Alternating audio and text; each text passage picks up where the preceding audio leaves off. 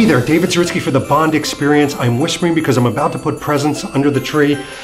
Presents for other people, but this one's for you. This is the Bond Experience Holiday Vlog.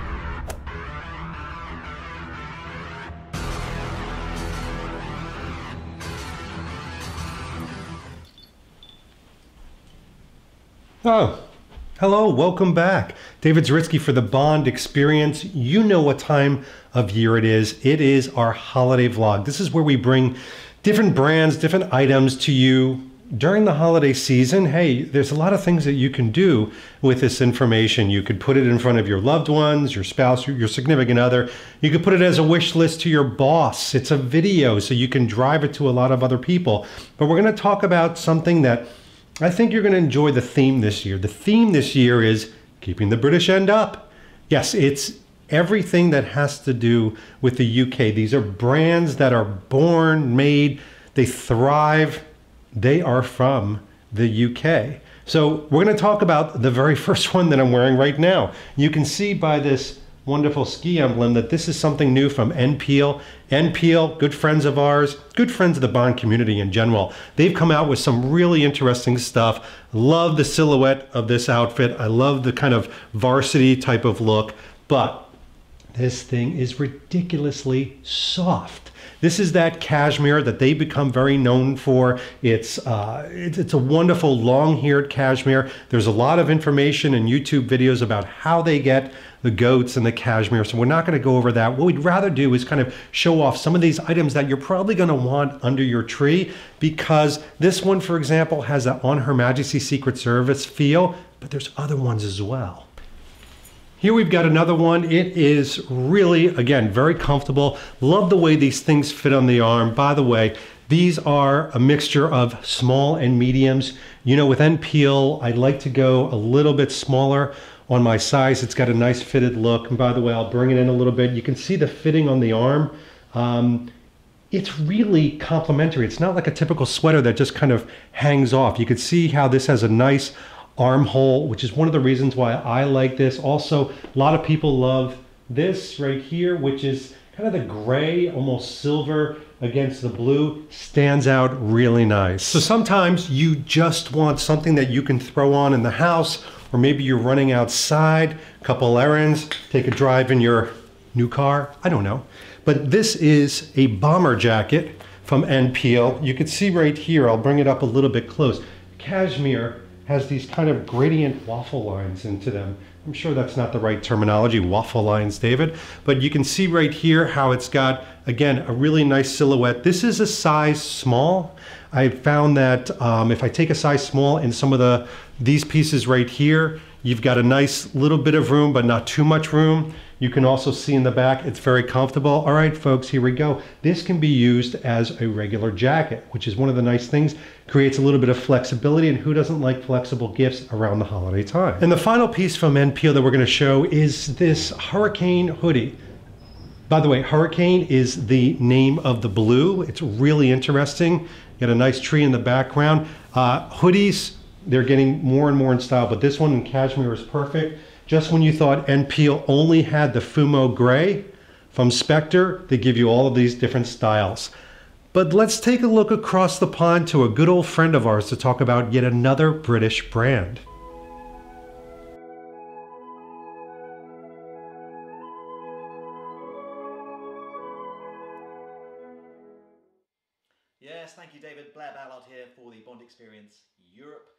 Welcome to rural England, or more specifically to my country retreat slash personal shrublands. Christmas is almost here, and it's a bit of a nightmare, isn't it, for our loved ones to try and track down some stuff that we actually want or that we haven't got already. So what do we do normally? When there's a film out, we pour over the onset photos, the paparazzi backstage shots, and track down the pieces of clothing before the film's out. We can get to the stores and hopefully they're still there.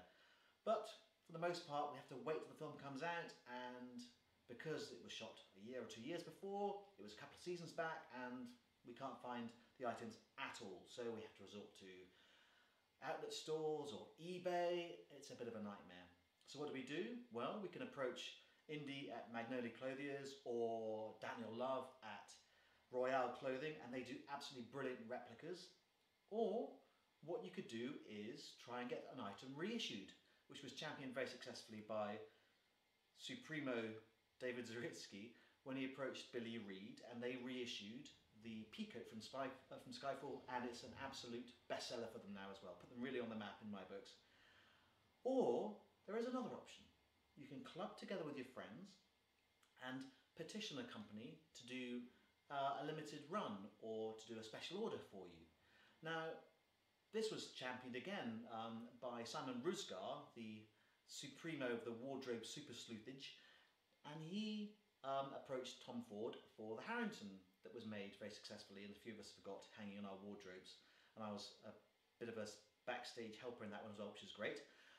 But also, back in 2013, uh, Daniel Craig was seen parading around New York in some brown chukka boots. Now these were the ones he wore in The Girl with the Dragon Tattoo, but he loved them so much, he wore them in his personal life as well, and they were from Barney's, New York, exclusively. He loved them so much, he had a special order made of black suede ones. Now, these weren't available in the shops at all. They had a, a Dainite sole as well. Now, Simon approached uh, Crockett & Jones and said, could you possibly make a special order for us? They said, sure, ultra limited run, limited number of six um, to start off with. And Simon pulled together some friends.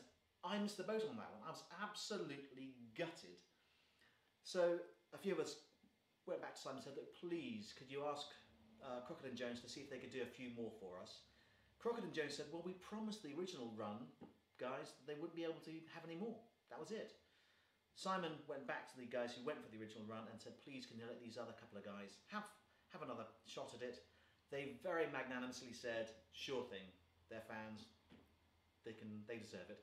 So, a second run was made. There these are the boots here. There are only 24 pairs owned by members of the AJB forum, plus one owned by some guy called D. Craig Actor. Um, but they're super rare, and it gives me a little warm feeling inside to have something that's so rare and so exquisitely made, obviously, coming from Crockett & Jones, British craftsmanship at its best. They're extremely hard wearing. I wear them all the time. They're in pretty good nick, really, um, considering. But they are super rare and I just love them. And so that's there's a message here, a Christmas message for us. If there's something you want to get, get together with your mates and petition a company to make them for you, special order. Christmas miracles can happen. Okay. Now, have a great Christmas, guys, from all of us here in uh, in the UK to all of you out there. Hope you have a great time that Santa gives you everything you want for Christmas, a few surprises as well, possibly. But now, back to you, David, in the States. Wow, Blair, I am gelling over those black Moltons. Unbelievable story, unbelievable shoes, really good quality. Thank you so much. Well, we're bringing it back now to the States where I'm wearing yet another, keeping the British end up, brand Sunspel. It's our friends from Sunspel. And to me, the Riviera Sunspel polo shirt from Casino Royale is the one piece of James Bond kit. If you are going to invest in anything that's the correct brand, it should be the Riviera Polo. By the way, a lot of different iterations of this. Some have said it started off really dark navy, then it went lighter, was made in different places, etc. I think it's back to its glory, quite frankly. It's very dark, almost like a midnight blue, as it should be. I'm in a small, by the way. I like the way the small fits. I'll kind of come back here a little bit so you can see the side. Um, you can see the back. For those of you that don't know the fit, We'll come up a little bit closer so you can see uh, the bicep fit is, is, is really good. I mean, this is the way the Riviera Polo should fit you. It should be um, fitted, snug, not skinny, not suctioning you. But the Riviera Polo to me screams Bond. I mean, you pair it with, you know, a pair of chinos and it transports you. I mean, think about all the people that are into this uh, Bond experience that we know. They probably own something like this. And this outfit just, it's indicative of it. But Sunspel, um, even as old a brand as it is, is constantly evolving. And they've, they've done something to me that spells creativity, quality, and comfort all together and still looks incredibly Bond.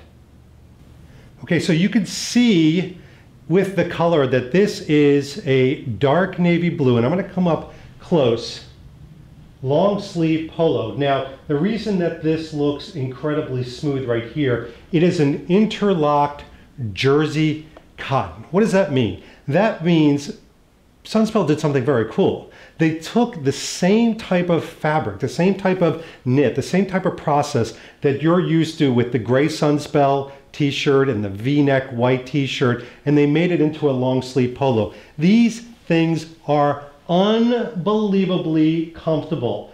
They are, first of all, um, pretty, pretty slim fit. I mean, they're not all baggy. You're not pulling them out. This is a size small. Just as a reminder, I'm a size 40, 31. So just to kind of, you know, tell you about what you're seeing as far as the fit is concerned. But what I love about this, this is so comfortable. I feel like um, I'm almost not wearing anything at all. One of the things I love about these, and they do it also in, um, you know, a very traditional white, but what I love about these is they're great base layers. You can put them under cardigans. You can put them under a sports jacket. I actually wore one of these on a pitch underneath, um, what was it, a cardigan? It was a sports jacket. It was the um, uh, Bruno Cucinelli uh, sports jacket from Spectre. And it looked great because, you know what, it tucks in really well. Uh, again, you know, this is what the fit looks like. It's not all billowy. It's not making you look like a 90 year old man, but it's classic, a classic long sleeve polo. You can see some of the details here. It's not ribbed and cinched. It's very loose. I'm telling you folks, it feels like I'm wearing just a really good quality made t-shirt. So it's that jersey, jersey, 100% cotton interlock and it's amazing. So it's one of these things from um, Sunspel. I wouldn't think logically logically about getting this. I would definitely get the Riviera Polo first, but as a secondary or something, if you want to add a little something extra from Sunspel, and again, you know, British uh, UK company, it's well worth it. Now we're going to do something a little bit different.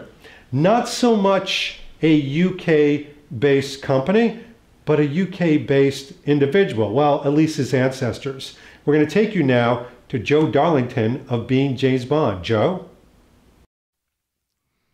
Thank you, David. And happy holidays to you and everyone over at the Bond Experience. How's everybody doing? My name is Joseph Darlington, and I do a humble little podcast called Being James Bond. Being James Bond has been dedicated to following in the footsteps of James Bond, doing the things he can do, learning the things he can do. And with the holidays here, David has been kind enough to let me tell you about Being James Bond Volume 1. In this first volume, we get in depth in learning the skills that Bond has, such as Texas Hold'em Poker, where we explore Bond's specific techniques and how he takes out his opponents. We give you an introductory lesson on skiing. We talk drinks and mixology so that you can mix a martini suitable for James Bond and his companions. We take a trip to London and give you tips on how to do it a little more like 007. Believe it or not, we give you your first flying lesson and discuss the basics of flying an airplane. We'll visit the GoldenEye Dam and go bungee jumping like James Bond.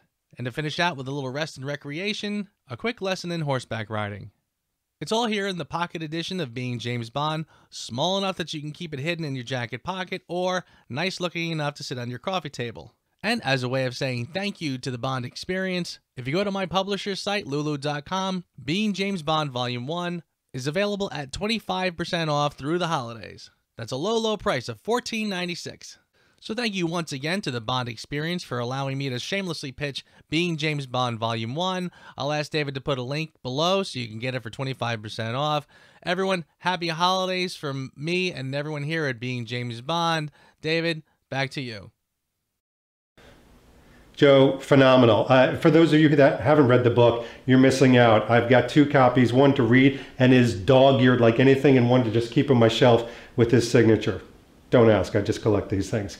Anyway, I'm feeling a little too dressed up and formal, so we're going to take it to a little bit more of a resort atmosphere.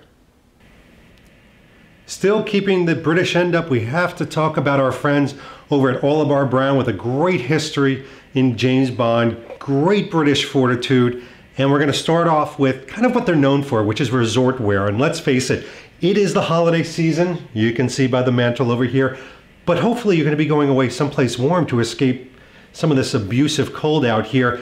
And they make incredible resort wear like this. This is the Horton, and yes, Horton does give a who. Sorry, awful. Um, but this is this Italian knitted yarn. It's different. I'm going to come up close so you can see some of the details in here, which um, the camera's picking up nicely right here. This isn't your typical cotton. It is knitted as an integrated vertical block. So these things all integrate together. What I love about this, this is a size small, it's obviously fitted. It's Orlebar Brown fitted. I could have probably gone up to a medium, but I took a small. I love the way it fits high in the bicep, um, not just high in the bicep, but not baggy in the bicep. It's got a nice kind of ribbing. Let's take a look real quick here. You can see the ribbing around here, very nice. From a side standpoint, you can see right here, extremely flattering. It's got this ribbed bottom right here, which kind of clings like the John Smedley things, but back, fits the back very nicely. It's got um, really good lines. It's got a nice solid block. What I love about this though, it harkens back to those days with the Rat Pack, you know, and 1950s, 1960s type of Palm Springs look to it. It is incredibly comfortable. You know, we're all into hand and comfort. This thing seems like it could breathe in really hot weather, um, slightly colder weather with a jacket on it. It has a lot of utility. So the Horton, highly recommended. And it's Orlebar Brown, so it's got that great quality to it. But you know, when we talk about utility, we've also have to talk about fitness and loungewear. And Orlebar Brown has dove into that market very nicely. Let's take a look.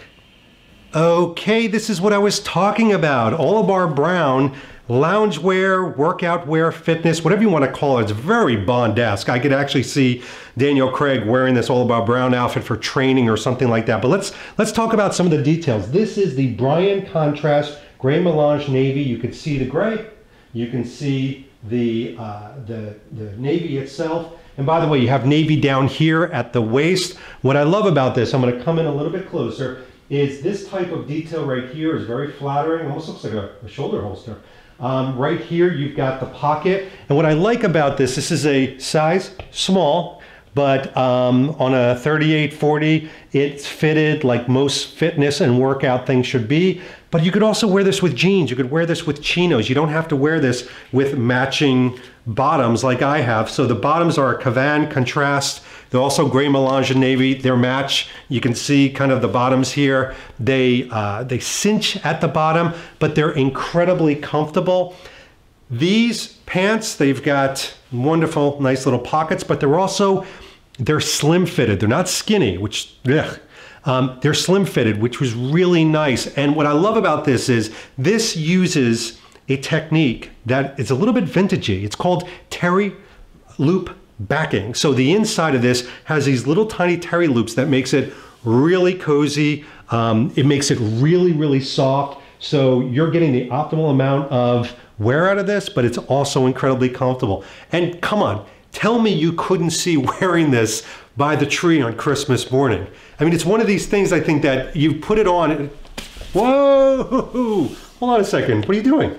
I'm just walk, walking along. Yeah, I, I know you're. You seem to be going out. That is the next thing I'm going to be reviewing. That's the Hatton jacket from Orlebar Brown, the down-filled one. But it fits me so much better. All right, I'll give you that. It does fit you better. Fine. Since you're here, you're in front of the camera yet again. Why don't you talk about the jacket? What do you like about it? Well, I love this jacket. I actually had the pleasure of wearing it last night out with a couple of friends. It survived Hot Pot. It survived the mall. Wait, wait. What's a hot pot? Uh, we'll get into that later. Okay, good. But this is the softest jacket I have ever worn. And that's saying something. Yeah, stand at the side for a second. Let's see the fit on you. So this is a size small. Um, turn around to the back. Um, see, it's got a, nice hood that actually can fold up and everything inside the collar. It's ridiculously light. It is, but it's so warm. I'm actually sweating right now. And it's got like nice little detail pockets and It things does. like that. And, and it's perfect for holding my right. glasses. Oh, look at you. Well, did you do that on purpose? I did. Yeah, all about glasses because you know he's got to be a completist. I've ruined him. That's great. Um, well, here, let me take those off so you don't hurt yourself in the dark. But uh, it, it looks good on you. you. I assume you're keeping this now. Then. Oh, yes, this is mine. All right, look, I got to finish up this vlog. Why don't you just get out of here? All right, all right. Listen, I hope you enjoy this. Keeping the British end up. This has been David Zaritsky for the Bond Experience. Make sure you show this video to your loved ones. It's more than just a hint. It is a wonderful, wonderful Santa list of things that you do. And I want to wish you and all of your loved ones an incredible, incredible holiday season. David Zaritsky for the Bond Experience. Talk to you very soon. Oh, hey, you're still here. I didn't even know. Uh, you, listen, while you're here, uh, if you want, I, I, so I would actually go to this button right here and click on it because then you actually subscribe to our vlogs. It's amazing. Um, you get to see all the upcoming stuff first. You get notifications. It screams at you while you're at work. It's absolutely amazing. Just click on this button, hit subscribe. Just move your cursor, move